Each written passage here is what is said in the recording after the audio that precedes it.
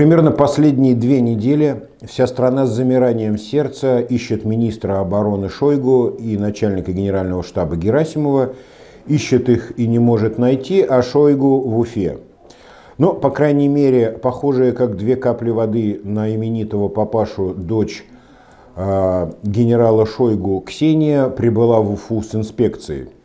Причем э, девушка настроена была очень решительно, решительно проверить, как идет строительство парка «Патриот». А, не все знают, что Ксения Шойгу является президентом, но пока еще только э, Федерации триатлона Российской Федерации. И вот э, как-то вот под эгидой этой триатлонной темы э, почему-то приехала проверять парк «Патриот». Понятное дело, Ради Фаритович выбежал на передний план, отбил чечетку и сплясал в присядку перед целой дочерью целого министра обороны. А, мало кому известно, что Хабирова через Воробьева связывает с Шойгу очень тесные взаимоотношения. Ну, в общем, а, уважение надо было оказать. Э, Ксения Шойгу была какая-то сердитая, проверяла, инспектировала. А, и, как было сказано в официальном релизе, осмотрела строящийся парк, дала ряд советов и сделала ряд замечаний по строительству. Ну, судя по всему, строительство у семейства Шойгу в крови, потому что а, папенька, как известно, до того, как стал министром обороны, был ну, чуть раньше МЧС он был, а потом до МЧС вообще-то был директором строительного треста. Так что по строительству у них там семья разбирается. Э, Ксения Шойгу очевидным образом осталась недовольна ходом строительства Э, триатлонной трассы в парке «Патриот» и пригрозила приехать летом. И уже летом э, принудить Хабирова пробежать триатлонную трассу вместе с ней. После таких угроз, э, конечно, я вздрогнул, потому что мне было трудно вообразить Ради Фаритовича, который последовательно и без перерыва плывет полтора километра, далее 40 километров едет на велосипеде и 10 километров бежит бегом. В 58 лет это, конечно, не так-то просто сделать. Э, лучше, пожалуй, что парк достроить.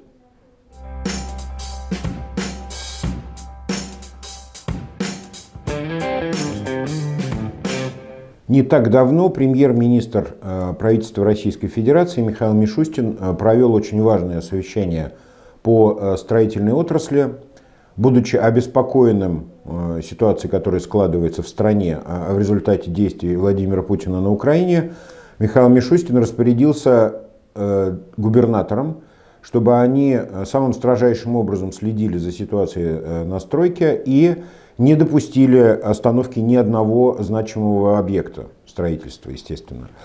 Ну, естественно, ответственными за этот вопрос были назначены губернаторы на местах. На это указание вышестоящего начальства Ради Хабиров э, откликнулся мгновенно. 19 марта прошло э, точно такое же совещание, но уже на уровне Белого дома Башкирии. Хабиров собрал всех э, строителей, крупных застройщиков и вообще причастных к этому делу и строго-настрого наказал им следить за тем, чтобы не появилось ни одного нового долгостроя и не, при, не прибавилось численности обманутых дольщиков. Напомню, что ранее Хабиров обещал Путину к 2023 году решить э, проблему обманутых дольщиков в Башкирии, а она стоит очень остро. Башкирия занимала на тот момент второе место по Российской Федерации по численности обманутых дольщиков после Подмосковья. В общем, обещания даны, их все помнят, э, о них все знают, и тем более тут у нас вот такая вот история стряслась э, в экономике. Однако дела э, на самом деле идут вовсе не так э, бравурно и мажорно, э, как хотелось бы Хабирову и Мишустину, и тут есть о чем волноваться. На прошедшей неделе практически официально было заявлено со стороны компании «Садовое кольцо» об остановке строительства трех крупных объектов из числа тех, которые эта компания достраивала за злосчастной компанией «Госстрой» Кирилла Бадикова. Речь идет о ЖК «Белая река», ЖК «Дом на Ленина» и э, жилищном комплексе «Эрмитаж», секция 4-5. Э, в компании это заявление объясняют тем, что они утратили техническую способность э, вести дальше строительства ввиду того, что господин Бадиков в конце 2021 года вошел обратно в структуру управления этим процессом, возложил на себя обязанности гендиректора компании генподрядчика и заблокировал фактически работу э, Садового кольца, тем самым он э, как бы, ну, прекратил, э, не дал возможности им рассчитываться с субподрядчиками. Речь идет о том, что господин Бадиков узурпировал право подписи конечных документов приемки работы, тех самых КС-1, КС-2, и не имея этих документов на руках, по законодательству компания «Садовое кольцо» не может оплачивать услуги и работы э, своим субподрядчикам. Очень важно понимать то, почему Бадиков до сих пор остался в структуре управления вообще всей вот этой конструкции, и почему, ну, как бы, когда вроде дела э, госстроя передали Садовому кольцу, почему его вообще тут не исключили? Ну, во-первых, э, структуры компании Кирилла Владимировича были настолько глубоко завязаны во все эти процессы, и уже столько много на них висело всевозможных дел, что ну, Садовое кольцо резонно опасалось э, забирать себе эти предприятия, чтобы потом не отвечать за все подвиги э, господина Бадикова. Ну, а во-вторых, это было неким условием самого Бадикова в самом начале, когда он передавал за один рубль все вот эти недостроенные активы Садовому кольцу, он почему-то поставил такое условие. Судя по всему, это была некая страховка, по крайней мере, в его представлении – от дальнейшего преследования, но, как мы видим, эта страховка не сработала. Еще ранее звучало, что э, Садовое кольцо вложило около 500 миллионов в достройку домов Бадикова. Э, с тех пор сумма эта только увеличилась. И вот сейчас на данный момент, по моим сведениям, не подписанных и не оплаченных, соответственно, документов между Садовым кольцом и субподрядчиком накопилось еще примерно на 100 миллионов рублей. В итоге вот этой странной ситуации э, все встало на трех объектах, э, строители покидают площадку, э, появился реальный риск того, что 803 дольщика пополнят ряды обманутых дольщиков Республики Башкортостан. 803 это много. Э, даже на фоне наших рекордных цифр э, на российском уровне 803 дополнительных обманутых дольщика для э, Хабирова это, конечно, катастрофа. На прошедшей неделе я общался со всеми сторонами этого конфликта, ну, по крайней мере, настолько, насколько мне это удалось сделать. Пообщался и с компанией «Садовое кольцо», где мне заявили, что на самом деле абсурдность ситуации заключена в том, что они хотят и могут достроить эти дома, у них есть для этого все средства, все договора и а, все технические возможности, но у них есть одна только проблема – это Э, невозможность рассчитываться с субподрядчиками ввиду того, что господин Бадиков не подписывает документы. С этим они э, реально поделать ничего не могут. Они обратились э, в правоохранительные органы, в мэрию и в Белый дом, то есть везде, везде, везде дали эту информацию, объяснили ситуацию, но пока на момент моего разговора там ничего не двигалось вот в этой части. Я хотел было связаться и с Кириллом Владимировичем, чтобы Э, получить от него комментарий и объяснение этой ситуации, потому что ну, должна же быть какая-то логика в его действиях, ну, по крайней мере, я предполагаю, что она должна быть. Но э, меня опередил Следственный комитет. Э, и в том смысле, что Следственный комитет заинтересовался Кириллом Владимировичем чуть раньше, чем я, и, соответственно, вот в четверг мы узнали о том, что господина Бадикова вызвали сначала на допрос, а потом задержали и арестовали аж на два месяца. Арест на него наложен до 22 мая. Вменяется ему э, статья 159 э, «Мошенничество в особо крупном размере». На какую сумму намошенничал Бадиков в представлении Следственного комитета, пока не уточняется, но речь идет о примерно 2,5 миллиардах рублей, которые были собраны на долевое строительство с э, населения – Сколько уж там предполагается, что Бадиков украл, умыкнул там, или смошенничал, я пока не знаю. Будем ждать какого-то развития событий со стороны э, следствия, хотя оно обычно у нас молчаливое. Ну, возможно, адвокаты будут давать какой-то комментарий. Ну, что теперь делать вот в сложившейся ситуации? Что поменялось там? Это победа, это успех. Что это вообще? На самом деле это ничто. Вот на данный момент не поменялось абсолютно ничего. Я имею в виду в судьбе дольщиков и в судьбе самой стройки. Бадиков де юра в своем праве, он просто переместился из дома э, в следственный изолятор. Технически он не лишен возможности сейчас подписывать документы. Ну, на месте Хабирова я бы, конечно, э, руки в ноги с пачкой документов ехал прямо э, туда к нему в следственный изолятор, э, подписывать эти документы, каким-то образом его к этому принуждать, потому что, ну, иначе ничего не, не изменится. До тех пор, пока Бадикова там не признают мошенником, причем это должен сделать суд, и на это понадобится там год-полтора-два, мы помним, как это было с Комлевым, до этих пор э, там, юридически ничего не изменится в этой конструкции.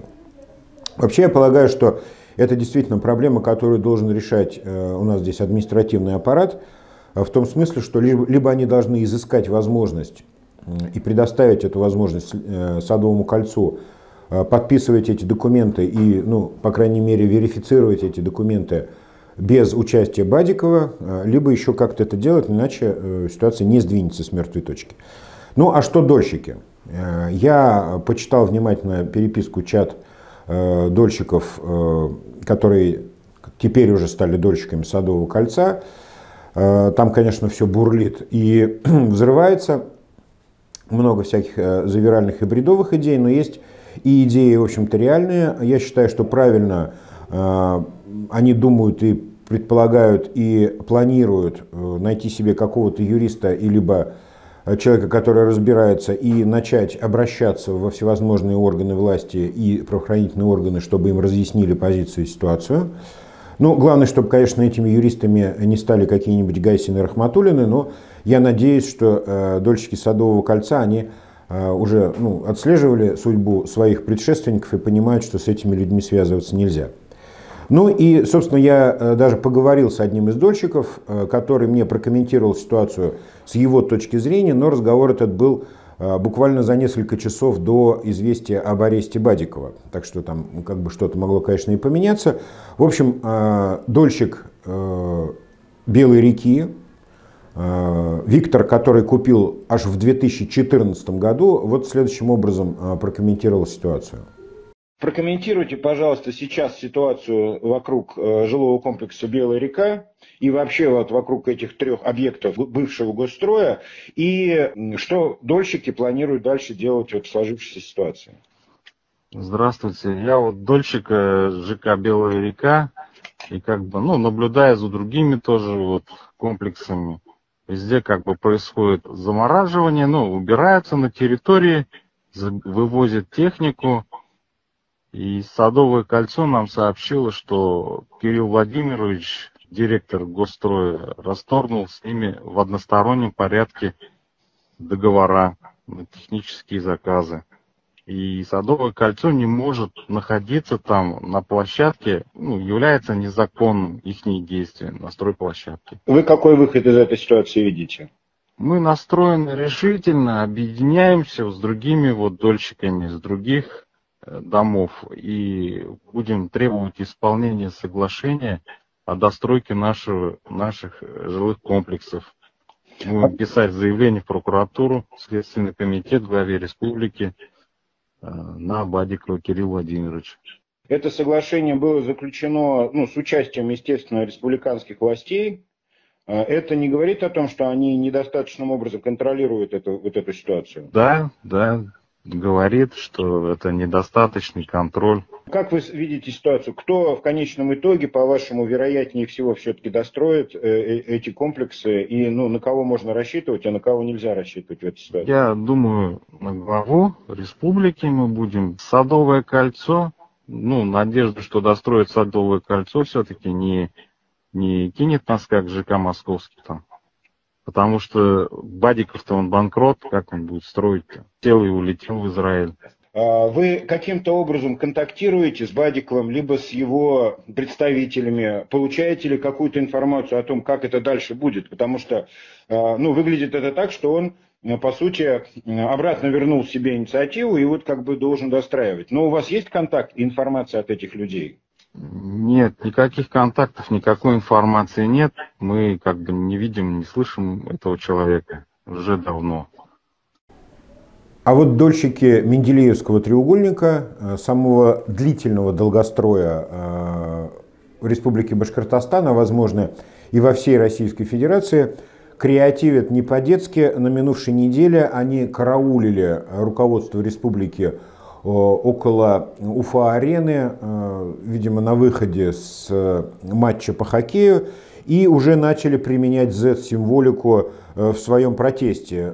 На фотографиях, которые мы вам демонстрируем, мы видим, что Э, они каким-то образом вплетают вот эту Z-повестку в свою проблему. Не знаю, правильно ли это или неправильно, но, по крайней мере, внимание это привлекает. Особенно на фоне того, что у них уже в шестой раз сменился директор э, фирмы-застройщика за последние три года, и они не понимают, что происходит. Э, шесть директоров сменили друг друга, и ВОЗ, как говорится, ныне там. В общем, Менделеевский треугольник креативит как может.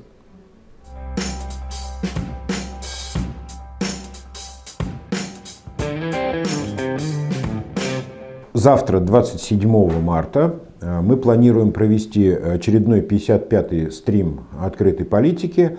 Вопросы к стриму можно присылать в комментариях вот к этому нашему сегодняшнему видео. Это будет самый простой путь доставить их до нас. Э, завтра подключайтесь в 9 э, вечера. Надеюсь, что в этот раз мы опять побьем рекорд присутствия. В прошлый раз мы получили практически тысячу человек э, единовременно, э, может быть в этот раз получим еще и больше. Напоминаю о том, что обязательно нужно ставить лайки под нашим видео, э, подписываться, если вы не подписаны, и подписывать своих друзей. Мы также приветствуем любую форму помощи, а форма помощи канала у нас теперь одна единственная, это прямое перечисление на тот расчетный счет, который мы показываем. Ну и напоминаю о том, что мы создали телеграм-канал, называется он также «Открытая политика». Ссылку мы даем в описании. Обязательно подпишитесь. Там есть не только все наши выпуски, которые мы делаем вот по графику, но там сейчас уже появилась весьма обширная переписка, обсуждение, там есть возможность комментирования, и вообще там очень весело. К этому телеграм-каналу приделана еще и дискуссионная площадка. В общем, э, это получился такой достаточно полноценный продукт. Теперь он довольно динамично развивается, так что подключайтесь и вы.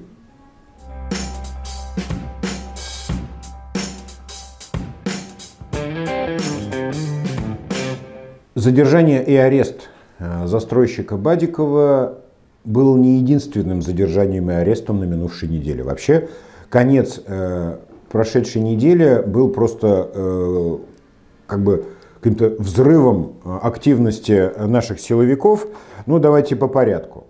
В пятницу стало известно о задержании депутата Госсобрания от КПРФ, активного участника Левого фронта Дмитрия Чуилина. Вместе с ним параллельно и по тому же самому вопросу были задержаны чуть ли не 12 активистов одного из марксистских кружков. Честно говоря, я, читая это, э, подумал, что ну, что-то это вот то ли шутка, то ли панорама, то ли еще что-то, да, но э, значит, арест активных э, подпольщиков-марксистов, это мне напоминает какой-нибудь там 1905 год, а вовсе не 2022, но тем не менее на полном серьезе причем с очень серьезными а, предварительными обвинениями. Вот эта компания задержана, Чувилину вырвали дверь э, в квартире и арестовали его там, по всем законам жанра.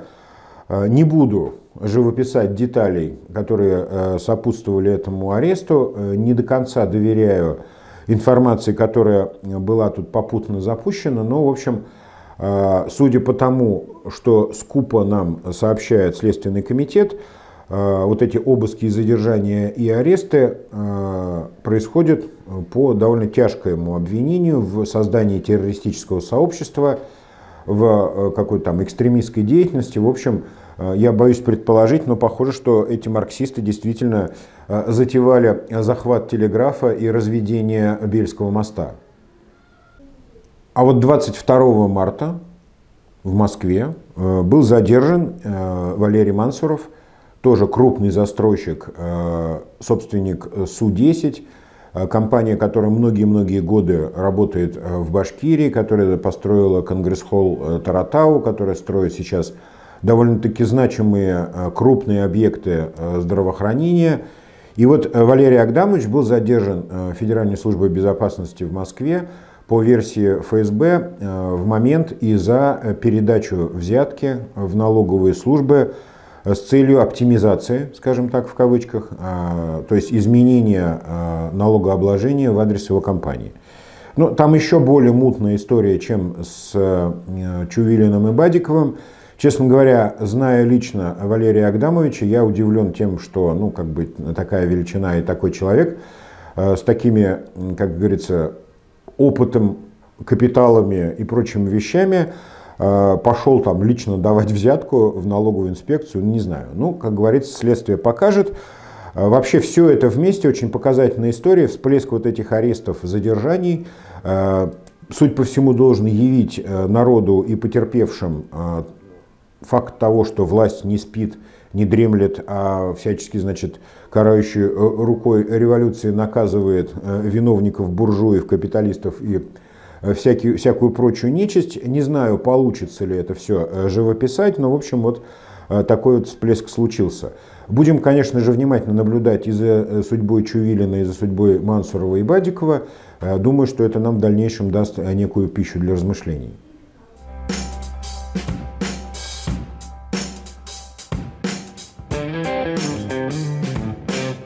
Я давно говорил о том, что власти Республики Башкортостан по сути утратили связь с реальностью, а, неустанно проплачивая всяческие премии, номинации, рейтинги и прочие-прочие приятные вещи, команда Хабирова окончательно перестала видеть то, что творится у них буквально под ногами, то, что происходит на самом деле, однако в отличие от них а, мы-то это все видим, и люди на местах это все видят, подтверждение вот этой моей мысли случилась такая трагикомическая, на самом деле, история на прошедшей неделе. Именно в день признания Башкортостана лидером по качеству э, школьного питания, а этот рейтинг производило агентство э, стратегических инициатив, именно в этот день, торжественный день вручения премий, э, в школе в Киргиз-Мияках отравились 62 школьника. То есть, ну, это по-настоящему массовое отравление. Двое из этих детей до сих пор находятся в больницах. А, и вот в этот момент, когда они отравились некачественным питанием в школе, а, вручается номинация Башкортостану к лидеру по качеству детского питания. Ну, в общем, тут, наверное, не убавить, не прибавить. Одновременно с этим в пабликах Ради Хабирова случился шквал а, критики со стороны родителей в отношении детского питания – Э, фотографии вот этого волосатого супа из стерлитамака, где детей кормят э, пищей с волосами, видимо, э, сотрудников пищеблоков, либо компаний, которые готовят еду. В общем, вот это раздвоение ситуации, она становится все более явным есть какие-то две реальности. В одной живет Ради Хабиров, которому вручают премии и номинации лидера по школьному питанию. В другой реальности 62 школьника разом а, травятся школьной едой, и двое из них находятся до сих пор в больнице.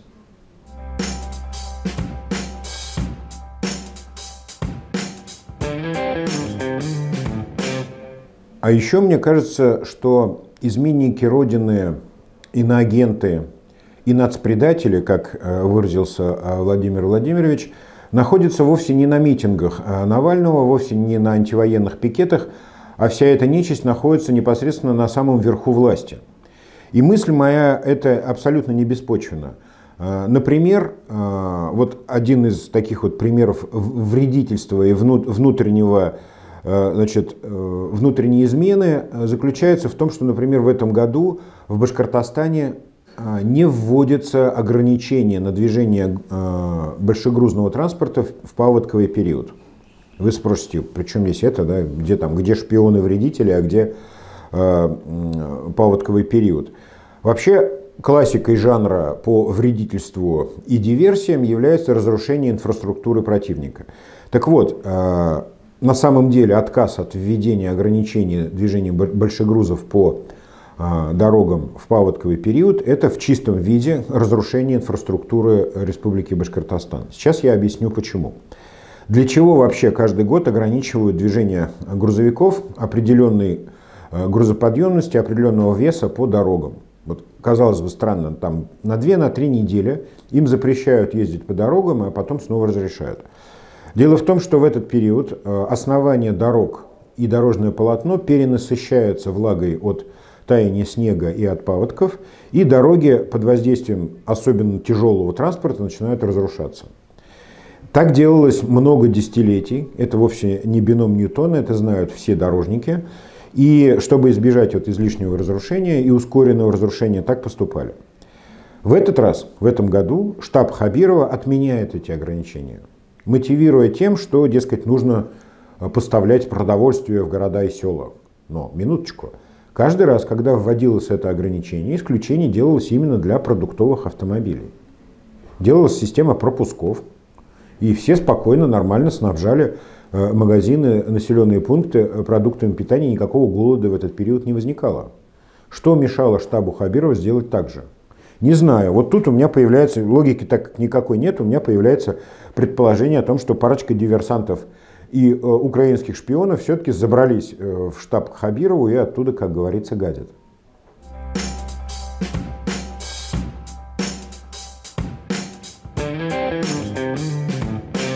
Недели две-три назад, в самом начале украинской авантюры, э, перевозчики Уфы обратились в Минтранс э, с просьбой разрешить им увеличить стоимость проезда в городском транспорте до 37 рублей. Ну, понятно, что они это объясняли тем, что начинается в стране кризис, или он уже начался, что резко подорожали запчасти и прочее, прочее, значит, ну, надо поднимать цену. В тот момент Э, власти среагировали достаточно истерично на это все. Крупных перевозчиков вызвали на ковер в Минтранс, отчитали, пропесочили и категорически запретили им повышать цену. И вот по прошествии этих двух-трех недель э, крупнейший перевозчик Альянс СКД э, без объявления войны и не спрашивая Минстроя повышает проезд на своих маршрутах, а маршрутов этих у этого перевозчика довольно много, повышает стоимость проезда до 35 э, рублей. Э, это маршруты в Дёму, Новоалександровку, в Сипайлово, в Чешмы, в Миловку и на все автовокзалы Уфы. Э, было 30, стало 35. Хабиров даже не спросили, в Минтранс даже не сходили. В общем, я так понимаю, что люди берут инициативу в свои руки и начинают формировать цену так, как считают нужным.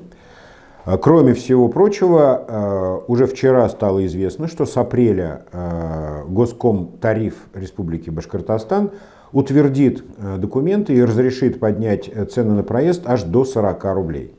В общем, мы ждем галопирующего роста стоимости проезда в пассажирском транспорте Уфы и Башкирии. Техас Хабирова, так называемый э, Техас Хабирова, я имею в виду систему пассажирских перевозок э, в республике, работает на полную катушку. Э, транспортная реформа не дала нам ничего, кроме сумбура, споров и повышения цены. Ну вот э, будем наблюдать, когда же стоимость проезда в уфимской маршрутке доберется до уровня 100 рублей.